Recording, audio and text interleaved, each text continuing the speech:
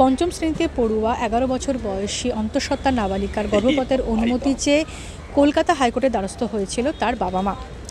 তারা কলকাতা হাইকোর্টে জানিয়েছেন যে তারা জানতেন না যে তার মেয়ে গণধর্ষণের শিকার। কিছু শারীরিক সমস্যার জন্য তারা যখন বেশ কিছুদিন আগে চিকিৎসকের কাছে যান, তখনই তারা জানতে পারেন যে তাদের নাবালিকা মেয়ে অন্তঃসত্ত্বা ইতিমধ্যেই পার হয়ে গিয়েছে ছাব্বিশ সপ্তাহ। কিন্তু পরিবারের দাবি যে এগারো বছর বয়সী মেয়ে কোনোভাবে মা হওয়ার যোগ্য নয় এবং তারা অর্থনৈতিকভাবে দুর্বল, তারা আইন সম্পর্কে জানেন না বলেও এই গণধর্ষণের যে ঘটনা সেটা জানাতেও তারা অনেকটা দেরি করে ফেলেছে।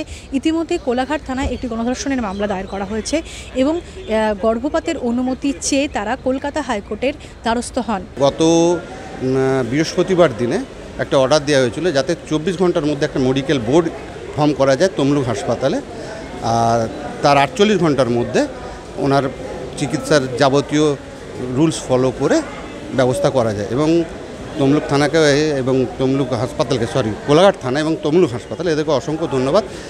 অন দ্যাট ডে মানে গত বৃহস্পতিবারই এভরিথিং প্রসিডিংস ওরা করেছেন এবং তার রিপোর্ট আজকে কোর্টে বন্ধ খামে জমা দিয়েছেন। তার উপর বেস করে অনারেবল কোর্ট অর্ডার দিয়েছেন। যত তাড়াতাড়ি সম্ভব আমাদের পিজি এসএসকেএম হাসপাতালে এই প্রসিডিংসটা কমপ্লিট করা যায় বিচারপতি সব্যসাচী ভট্টাচার্য আজ একটি নির্দেশ দিয়েছেন যে যত দ্রুত সম্ভব এসএসকেএমে এনে নাবালিকার গর্ভপাত করাতে হবে।